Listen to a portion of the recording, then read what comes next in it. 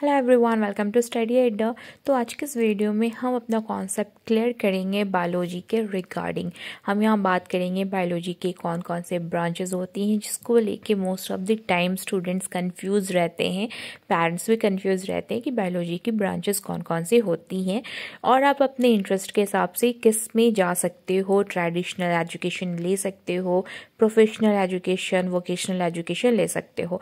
सबसे पहले हम बात करेंगे कि बायोलॉजी होता क्या है। बायोलॉजी आपका साइंस का ही ब्रांच होता है, जिसमें आप लिविंग थिंग्स के बारे में स्टडीज़ करते हो। वो आपका बायोलॉजी होता है, जिसका मेन डोमेन हो गया। जो सबसे पहले जो टर्म बायोलॉजी था, उसको क्वाइन किया था लेमार्क ने एंड ट्रेवी रेनम नाम के साइंटिस्ट ने किया था।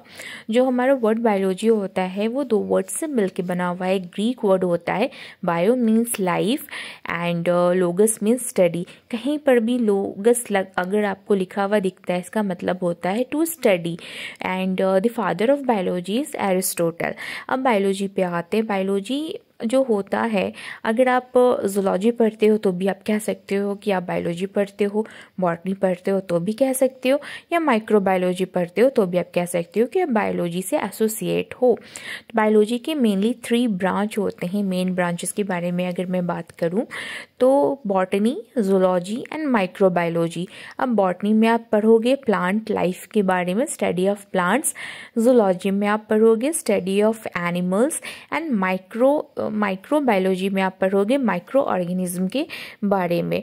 तो बॉटनी जो है ना, फादर ऑफ़ बॉटनी थियोफ्रेस्टस को कहते हैं। And otherwise known as phytology and zoology जो होता है ना they are also drive from two Greek words zoon मतलब एनिमल एंड मैंने जैसे कि पहले बताया था, अगर कहीं पर भी लोगस लिखा होता है, उसका मतलब होता है टू स्टडी तो फादर ऑफ़ जूलॉजी एरिस्टोटल है. एंड माइक्रोबायोलॉजी में हम माइक्रो ऑर्गेनिज्म के बारे में पढ़ते हैं. और father of microbiology Louis Pasteur है. एंड फादर ऑफ़ बायोलॉजी हम थियोफ्रेस्ट्रस या थियोफ्रेस्ट्रस uh, को कहते हैं। तो इस तरीके से जो बायोलॉजी के जो डोमेन्स है वो डिफरेंट है। एंड इसके ब्रांचेस के बारे में देखा बॉटनी जूलॉजी माइक्रोबायोलॉजी जो बॉटनी के स्टूडेंट्स होते हैं उनको प्लांट के बारे में पढ़ना अच्छा लगता है। तो वो बॉटनी सेलेक्ट करते हैं जिनको एनिमल फिजियोलॉजी एनिमल से रिलेटेड चीज़ें अच्छी लगती हैं वो जूलॉजी पढ़ते हैं। जिनको टाइनी ऑर्गेनिज्म के बारे में पढ़ना पसंद होता है, वो माइक्रो बायोलॉजी लेते हैं। तो अगर आप माइक्रो बायोलॉजी उसे एक्सपेक्ट करोगे कि they known all the things about the botany तो ये पॉसिबल नहीं है बिकॉज़ ये हमारा अलग ब्रांच है। बॉटनी है तो बॉटनी के बारे में आप उसमें प्लांट लाइफ के बारे में एल्गी हो गया फंजाई हो गया and bryophyte gymnosperm angiosperm trees हो गया फोन्स हो गया शर्प्स हो गया एक्वेटिक प्लांट्स हो गया। मतलब जो हमारे अर्थ पे ओवरऑल जितने भी आ, फ्लोरा प्रेजेंट है आपको उसके बारे में पढ़ना पड़ता है। जोलॉजी में आपको फोना के बारे में पढ़ना पड़ेगा। मीन्स कि प्लांट एनिमल के बारे में पढ़ना होगा। एनिमल्स है कितने तरीके के एनिमल्स होते हैं। मैमल्स हो गया रेप्टाइल्स हो गया जो भी उनसे एसोसिएटेड डिज़ीज़ है हर एक चीज़ आपको जोलॉजी में पढ़ना होता है। लेकिन हाँ एक बेसिक नॉलेज आपको हर एक सब्जेक्ट का होना चाहिए।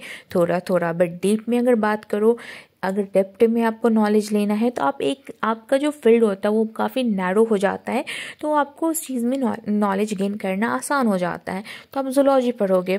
अगर आपको एनिमल में इंटरेस्ट है एंड एनिमल से रिलेटेड जो भी चीज़ें हैं, उसमें अगर इंटरेस्ट है तो आप जोलॉजी की तरफ़ जाओगे। एंड माइक्रोबायोलॉजी जैसे कि मैंने बताया। अगर आपको माइक्रो ऑर्गेनिज्म के बारे में पढ़ना पसंद है तो आप माइक्रो ऑर्गेनिज्म के बारे में पढ़ोगे माइक्रोबायोलॉजी से। तो ये हमारे बायोलॉजी के ब्रांचेज है साइंस के भी ब्रांचेस के बारे में बात करेंगे।